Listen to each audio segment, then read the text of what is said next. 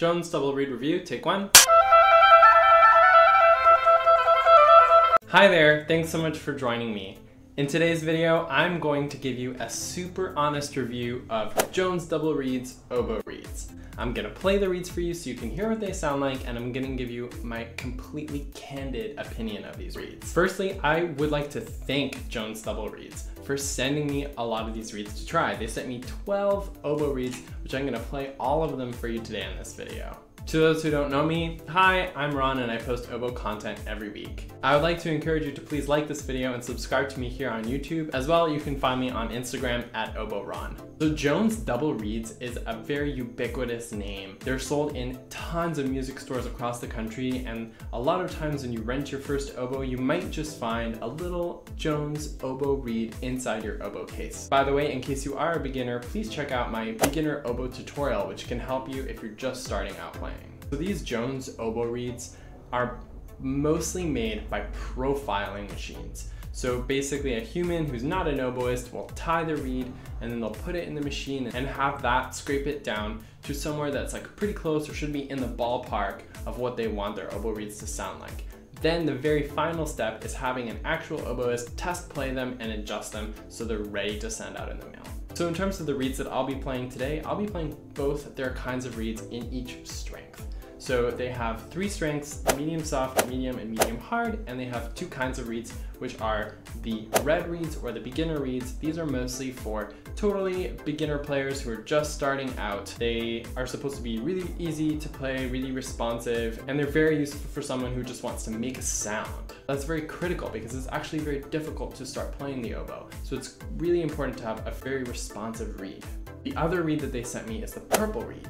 These are the artist reeds and they are more for intermediate players who've been playing the oboe for a little while and they want a reed that is more flexible and has a deeper tone. All right, so I'm going to just start out by playing on one of my own reeds so you know what I sound like and that will let you compare how all these reeds sound compared to a handmade reed that I made. So here's one of my own reeds.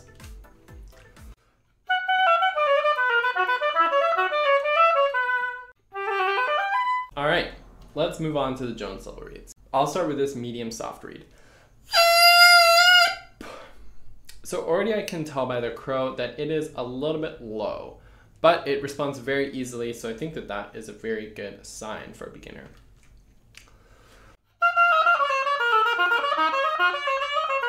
So it's actually like almost a semitone low.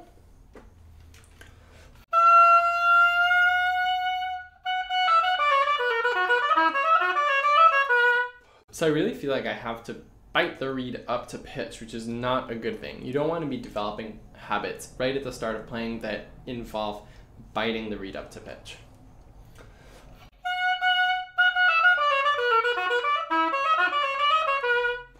Yeah, so having a reed that's this under pitch can make it very difficult to play with others. Overall, I think this is like a great reed to play for, uh, you know, the first week of playing and you can take it to your teacher and they can uh, adjust the reed for you. A lot of times I have that when students come to me with store-bought reeds and what I can do for them is just slightly adjust it, bring it up to pitch, and then they'll have a much easier time playing on that reed and then they can transition over to handmade reeds. Next up is the medium reed.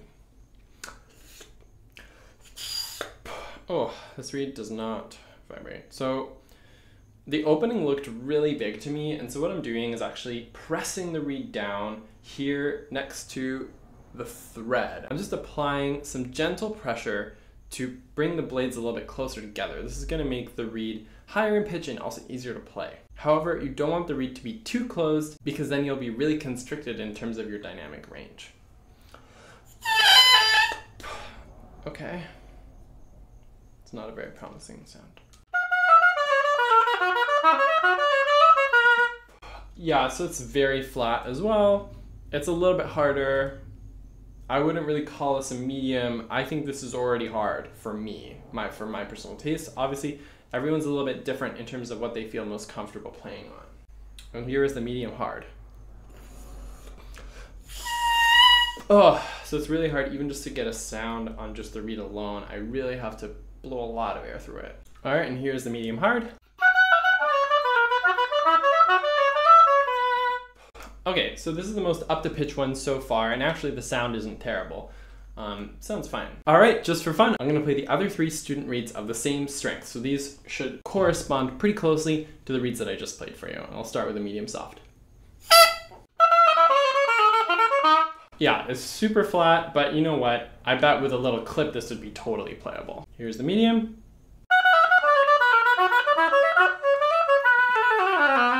Yeah, so this medium I think is like definitely in the ballpark. It's pretty close. It's definitely a usable reed for a beginner player. Now for this medium hard. Oh my god, that's a lot of work. Oh, I'm really worried about this one. It doesn't even look too open. I think the reed itself is just too thick. Uh, so it would need to be scraped down in order to be really playable, I think.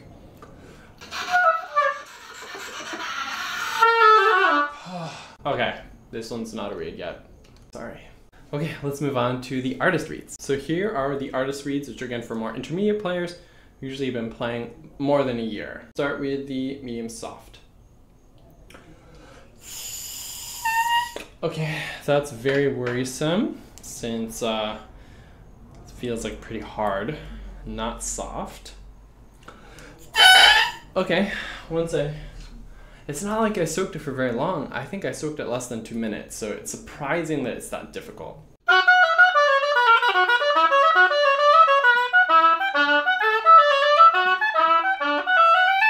Yeah, so this is already uh, kind of better than the, all the other reeds I've tried so far, even though like to me, it has like a weird resistance in it.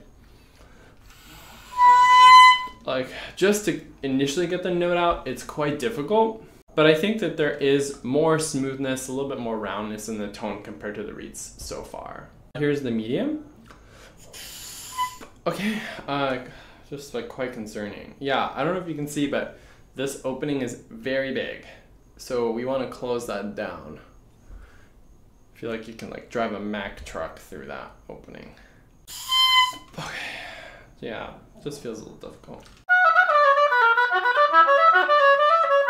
Yeah, so I tried this reed and I feel like it has potential. I just really need to scrape it. This is kind of the overarching theme of all these reeds so far today is that a lot of them are closer, have potential, and definitely can be used by students, but they just need that last 10% of the way.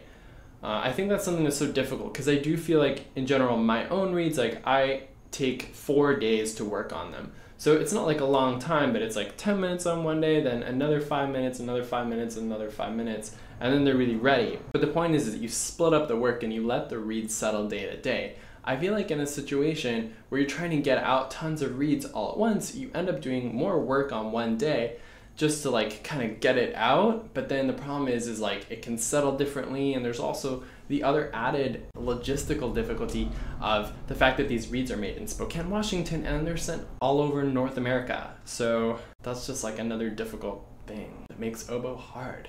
All right, here's medium hard. Oh, this one's actually easier than the other two. Yeah, so Betts is actually very easy to play. This I would not call this medium hard. I would say this one is the softest one of all of them. But I definitely made sure I took this one out of the medium hard box. All right, now we're gonna try the final three reeds. Starting with medium soft. Okay, I don't even know what to do. Oh, let's close it down. Yeah, it just feels like it's barely vibrating. Yeah, it's not a reed yet. Medium. Just really hard. And then the medium hard.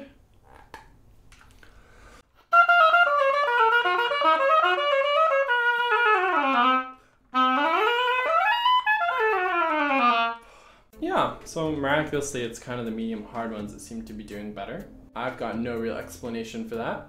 All right, so that kind of concludes my trying of all these reeds. Basically, my final thoughts are that there's a really important place for reeds like this in the market. Not everyone has access to a teacher right away, and it's really important to be playing on something when you're starting, because that's a really big barrier to entry for oboists. If you're a beginner oboist or a parent of a beginner oboist, hopefully something you can take away from this is how valuable a resource a teacher can be in just like helping make reeds or helping adjust reeds so that they're easier to play for yourself or for your child. Thank you so much for joining me today, and I hope that this was really helpful and informative for you.